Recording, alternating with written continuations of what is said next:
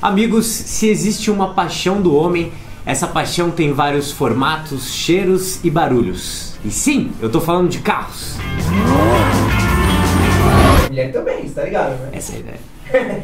A história do automóvel tem início lá em 1769, com a criação do motor a vapor, que tinha a capacidade de transportar humanos. Mas a gente mal sabia que anos depois esses carros transportariam o nosso amor para as grandes telonas, criando uma das misturas mais fodas do mundo: o cinema e os carros. Uma coisa que você percebe rapidamente quando começa a pesquisar esse universo dos automóveis é toda a paixão envolvida. O processo inteiro para fazer um carro é bastante interessante. E quando a gente adiciona o mundo cinematográfico a isso, fica muito mais ainda. Diversas modificações são requisitadas, desde mudar o estilo de uma porta até ter uma metralhadora saindo pelo farol. Vários carrões já foram produzidos aí em massa para serem completamente destruídos. Então, bora conferir a lista dos melhores carros da história do cinema. Mas antes da gente começar essa lista, comenta aqui embaixo qual foi o grande carrão aí do cinema que marcou a tua vida. Só deixar aqui nos comentários. 5. Na quinta posição a gente tem o Mustang GT500 de 1967, vulgo Eleonor.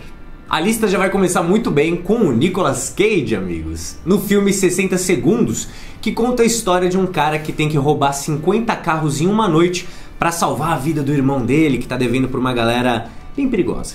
O último carro que o Cage tem que roubar é esse Mustang GT500 maravilhoso, belíssimo, que marcou a história do cinema por toda a sua desenvoltura. E o carro foi desenvolvido exclusivamente para esse filme. Quando eu falo que o carro é de 67, você vê essas imagens que ele parece bem moderno, é porque ele foi completamente personalizado para o filme. Os responsáveis por criar esse carro foram o Steve Stanford e o Chip Fuzz, duas lendas aí, né, que costumam criar carros excelentes para o cinema e para o mundo real. Eles tentaram pensar igual o Carroll Shelby, o criador da marca, pensaria para criar uma coisa nova. E foi daí que nasceu Eleonor. E existe uma grande diferença entre a criação de um carro que vai estar tá nos filmes para o carro da vida real.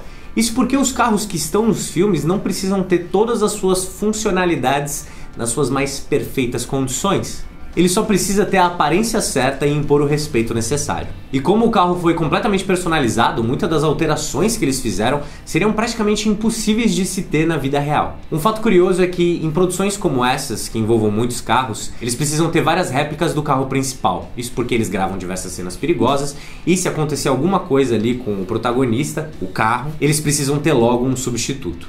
E foram construídas exatas 12 Eleonores e nenhuma delas iguais.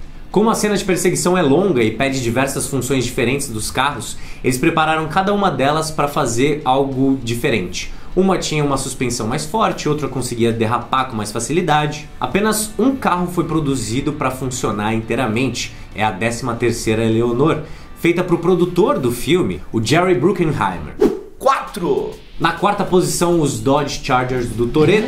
E eu digo os, porque se você assistiu todos os filmes da franquia, você sabe muito bem que esses carros nunca têm um final muito feliz. O carro já virou um símbolo e representa muito bem o personagem do Vin Diesel. Além do clássico RT 1970, o Vin Diesel dirigiu outros cinco carros nas franquias. O Dennis McCarthy, que é o coordenador de carros de toda a franquia do Velozes Furiosos, disse que desde o começo ficou bastante ansioso para ver o Toreto dirigindo um muscle car. Isso porque se você lembra do primeiro filme, o Toreto começa com um carro com neon, desses carros aí que o Brian costumava usar, que não combinava muito assim com o personagem. Mas foi quando o Toreto levou o Brian para sua garagem e mostrou o carro antigo do seu pai que a gente entendeu ali o que ia acontecer.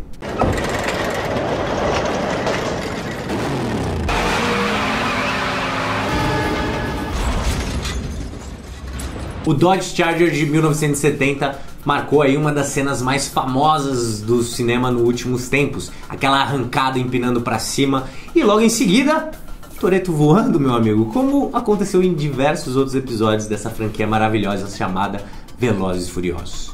3 na terceira posição, o Aston Martin DB5, o famoso carro usado no 007 contra Goldfinger. Quando você vê a franquia do 007, você imagina que diversas marcas estão sempre batendo na porta dos produtores para pedirem uma oportunidade de serem incluídas no lifestyle do James Bond. Mas nem sempre foi assim. O carro Aston Martin sempre esteve nos livros do 007 E quando os produtores quiseram conversar com a marca para colocar o DB5 dentro do filme, eles recusaram porque achavam que não ia ser um bom investimento. Depois de uma boa insistência dos produtores e mostrando ali o potencial de vendas da marca, eles decidiram ceder para os produtores um carro, mas não um carro qualquer. Eles cederam a réplica original usada para fazer o DB5. O carro foi enviado para a equipe de efeitos especiais que não demorou muito para encher ele de artifícios, como armas, escudos e outros objetos cinematográficos, além da coisa mais famosa que é o banco ejetável.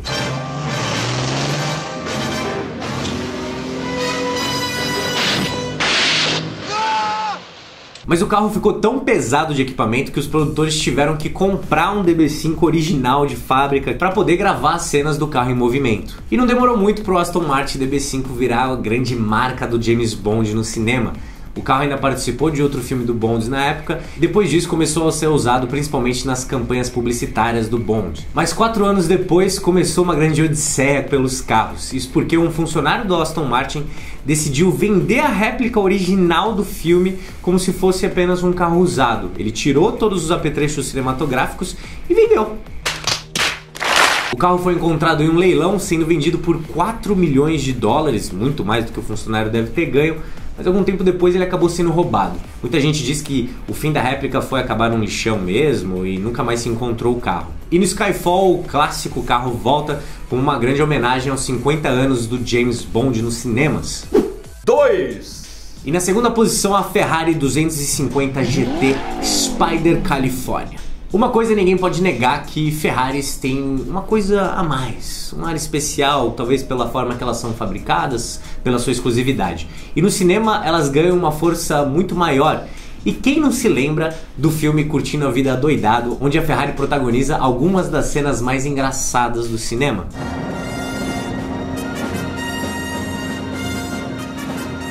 Essa Ferrari é de 1961 e poucas versões dela foram criadas, por volta de 100 para ser mais exato. Quem viu o filme sabe que o carro não teve um final feliz, assim como muitos dos carros que estão nessa lista. Mas esse carro em especial foi tratado como uma estrela. Isso porque eles não podiam usar o original para cenas de destruição ou de corrida.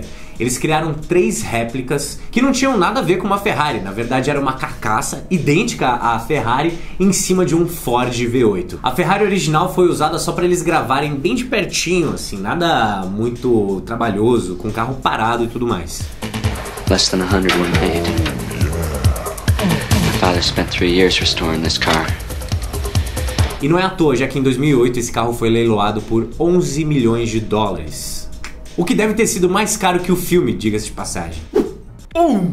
Em primeiro lugar, o clássico DeLorean DMC-12. Antes de começar a falar do carro, se você ainda não assistiu a trilogia do De Volta para o Futuro, Ó, morre, pode morrer. o que, que você tá fazendo? Vai assistir, né? vai assistir, porque você tá perdendo uma das melhores trilogias já feitas na história. No roteiro original do filme, a máquina do tempo era na verdade uma geladeira. Só que os produtores ficaram com muito medo que as crianças que assistissem o filme se inspirassem e quisessem ir pro futuro ou pro passado dentro das suas geladeiras. E aí de repente as mães iam encontrar os filhos mortos lá, é ficar uma bagunça. E aí para não ter problemas na justiça, eles viram o DeLorean ali. Eles falaram: "Nossa, tem um design bem futurístico, né? Vai ser essa máquina".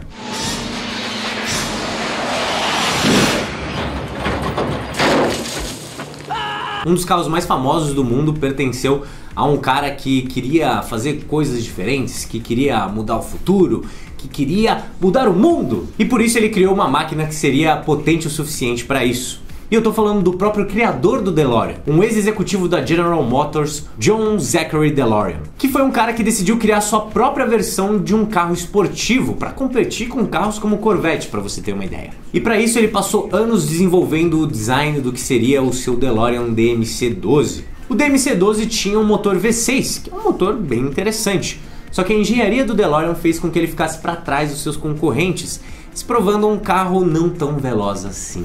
E a empresa afundou completamente quando o seu dono foi acusado de umas paradas meio intensas com tráfico de drogas, que ele acabou sendo absolvido no futuro, mas enfim, já tinha acabado a empresa, o sonho.